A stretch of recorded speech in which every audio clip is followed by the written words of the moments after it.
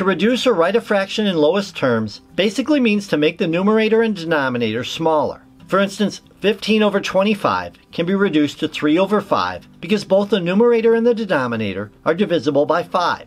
And this number 5 is called the greatest common factor. The fraction 4 over 5 is already in lowest terms because there is no common number, other than 1, that both are divisible by without having a remainder. So the rule is that if both the numerator and denominator of a fraction cannot be divided by a number other than 1 without a remainder, the fraction is in its lowest terms. What this means is that there is no common whole number other than 1 that will divide evenly into both the numerator and denominator. So for instance, 4 over 5, if we divide both by 2, 5 divided by 2 has a remainder. If we divide both by 3, both 4 and 5 have a remainder. And if we divide both by 4, again, 5 divided by 4 has a remainder. So this fraction is in its lowest terms. There is no greatest common factor other than 1. Many times reducing fractions is about going through a process. For instance, 18 over 30. Both numbers are even, so they can be divided by 2, which results in 9 over 15. Neither of these can be divided by 2. How about 3? Yes, both can be divided by 3, which results in 3 over 5. And this now is in the lowest terms. If we go back to 18 over 30, both can be divided by 6, which results in 3 over 5. As you work more and more of these types of problems, you'll be able to recognize the greatest common factors.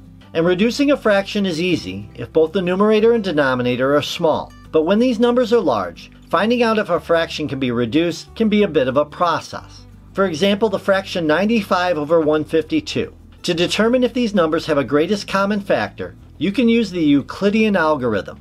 To use this method, you start by taking the larger of the numbers, in this case 152, and dividing it by the smaller number, 95, which I've done here. And this results in a remainder of 57.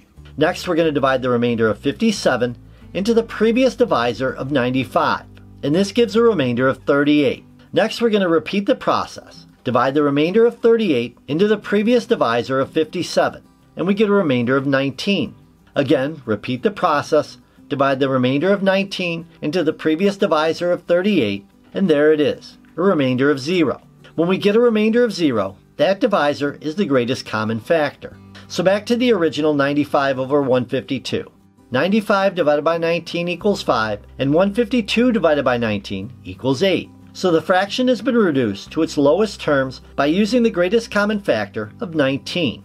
If you go through this process, as you see here in this example of 11 over 18, and you have 1 as the divisor that gets the remainder of 0, then there is no greatest common factor.